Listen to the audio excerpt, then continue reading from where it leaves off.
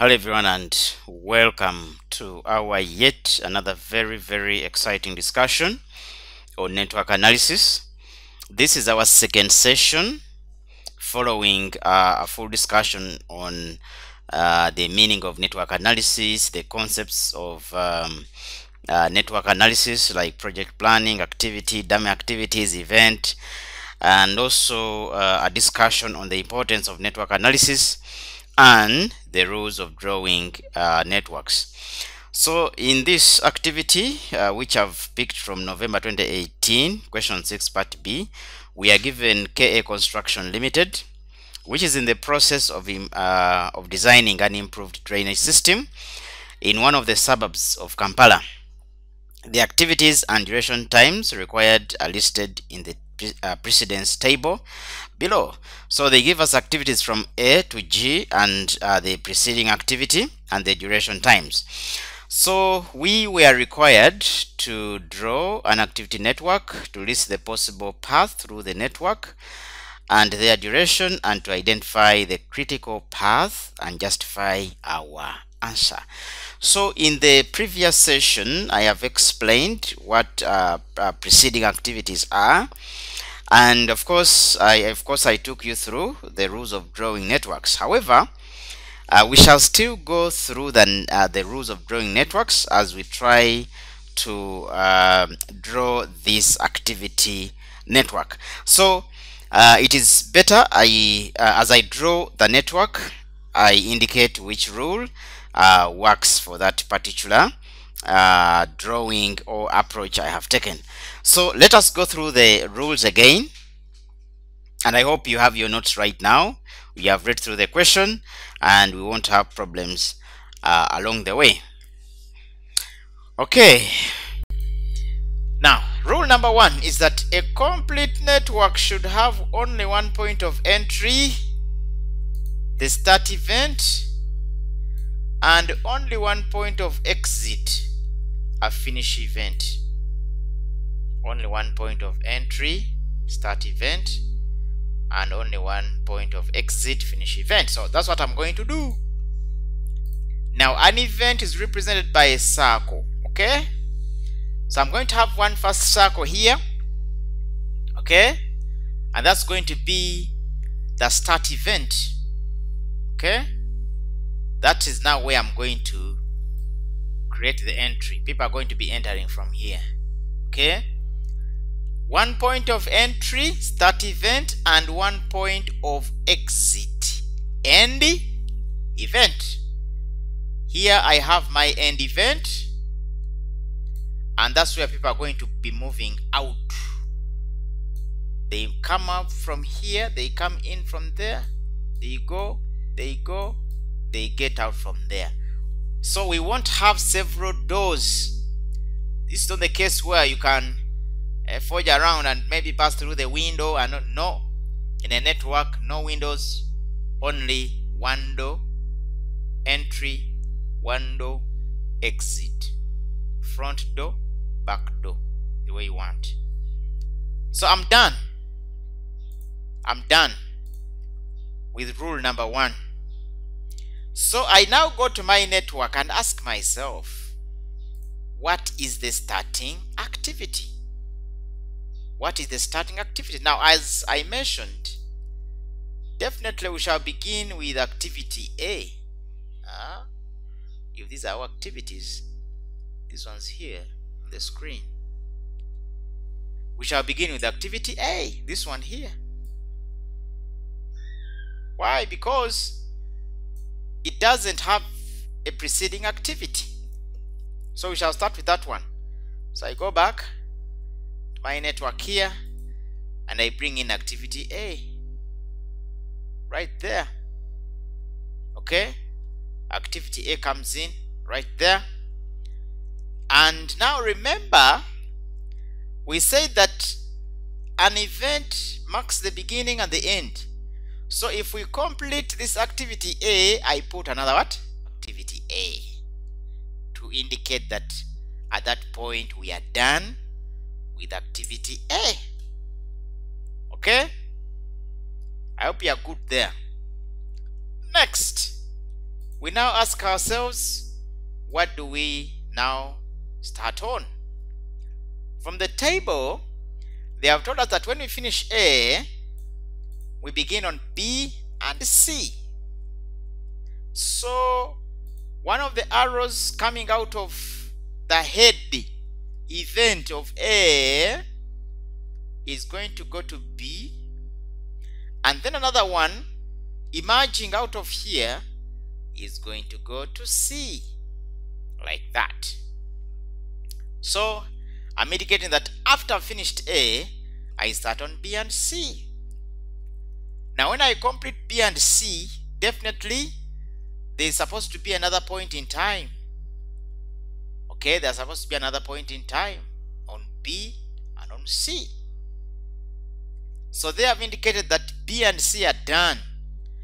Now I go back to my table and ask myself, when we finish B and C, okay, when we finish C, we begin on D. When we finish B, we begin on F. I mean on E. A. When we finish B, we begin on E. So, I expect those two new activities to emerge. D from C. Have you seen that?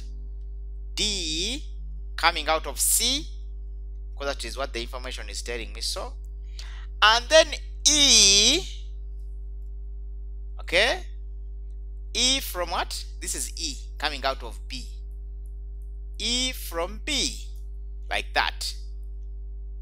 E from b like that. Now i put a circle on d here and also a circle on e because i must indicate that i've completed d and i've also completed uh, i've also completed e. Now after E and D, what do I start on? Now, when you see in our question here in the table you have right there, when we are done with the with the E, eh? okay, when we are done with D, we start on F. When we are done with D, we start on what? We start on F. So that one must come on next when we are done with this D here, we start on what? We start on F. So F has to come out of this place. That's the F right there. That is the F right there. Now, it looks like E and F are moving to the same point in time. It looks like E and F are moving to the same point in time. Why? Because of this here in the table. You see this one here? Whenever the examiner represents two activities like that, EF, E, F, B, C, those ones, it means that they must move to the same head what? They come from different tail events, but move to the same head event. Okay? So, that is why I was strategic to draw my E and F. They are moving to the same circle. Because out of that circle, another activity is going to come out. That's the activity number what? That is activity number G. This one is going to come out of that, the G. So now I bring in my same point in time. They are coming from different circles, but going to the same this one is allowed. But what we don't accept is where you have two activities coming from the same, like that, and going to the same. This one is not allowed. We don't accept it. So, you remember I talked about a dummy. You will use a dummy where you find that, ah, my activities seem to be coming from the same. Eh? They seem to be coming from the same and going to the same. So what you do, you let one activity go straight. Create a dummy here. A dummy is dotted. Create a dummy here like this. Then another activity comes there. That is the creation of a dummy. So this is the dummy. I'm going to call it X. Then this one I'm going to call this one E. And this one is F. So if you see that activities E and F, we are going to come from the same. Eh? Activity is here. And another activity F is here. They are coming from the same, going to the same. You rather create a dummy like this so that they don't come from the same, going to the same. So that is where we create a dummy. But of course, no worries. I'm going to show you. I'll show you how we create a dummy using a live example. So now, after E and F are done, we start on what? After E and F are done, we start on G. Okay.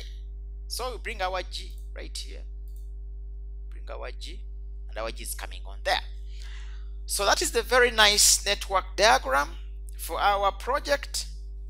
And I hope you are completing yours. I'm going to give you some three minutes to complete and then we proceed.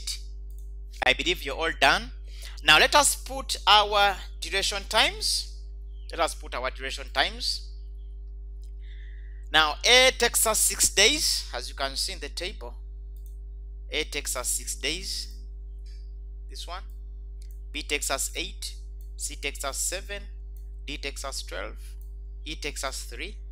F takes us five. G takes us seven. So I'm going to pick up these duration times and take them to my network. Okay. As I've mentioned, A takes us six days. B is going to take us eight days.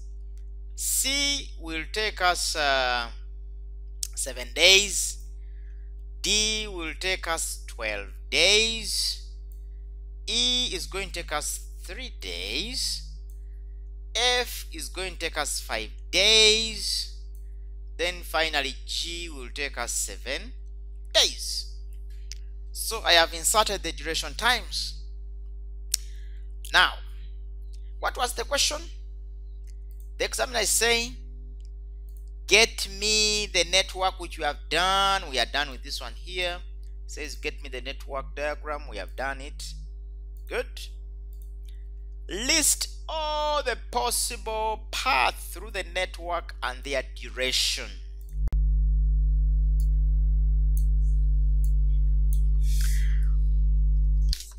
Alright, in the next video, which is our session number three, we are going to list all the possible paths through the network and then we shall identify the critical path to which we shall justify our answer. So I want you to go to the next session, which is the next lecture video that handles that part. Thank you.